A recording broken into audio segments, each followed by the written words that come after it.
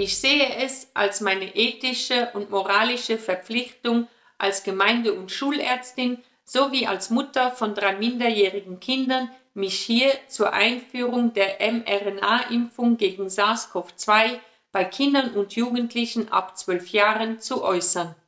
Ich möchte, dass alle Eltern sich ausreichend informieren.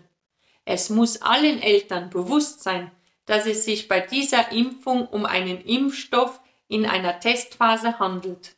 Der Impfstoff befindet sich derzeit in einer Phase 3 klinischer Studien und wurde an nur wenigen Probanden des Kollektives der Kinder und Jugendlichen ab zwölf Jahren angewendet.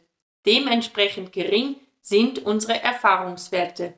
Aufgrund fehlender Langzeitbeobachtungen ist es derzeit auch nicht möglich, wissenschaftlich fundierte Aussagen bezüglich Langzeitkomplikationen und möglichen Risiken zu treffen. Üblicherweise werden in der Medizin Medikamentendosierungen an Kinder angepasst, denn Kinder sind keine kleinen Erwachsenen. Diese Anpassung gibt es beim mRNA-Impfstoff nicht. Kinder erhalten die gleiche Dosis wie Erwachsene. Liebe Eltern, liebe Großeltern, bitte besorgen Sie sich ausreichend Informationen und überlegen Sie in aller Ruhe, ob Sie Ihre gesunde Kinder, die nur ein geringes Risiko haben, schwer an Covid-19 zu erkranken, ungeniert der Impfung zuführen. Wir müssen unsere Kinder schützen und wir Eltern müssen uns unserer Verantwortung bewusst sein.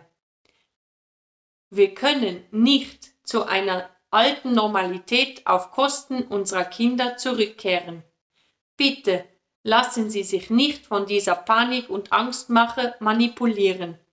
Unsere Kinder haben ein Recht auf Bildung und unsere Kinder haben ein Recht auf ein soziales Leben unabhängig von ihrem Impfstatus.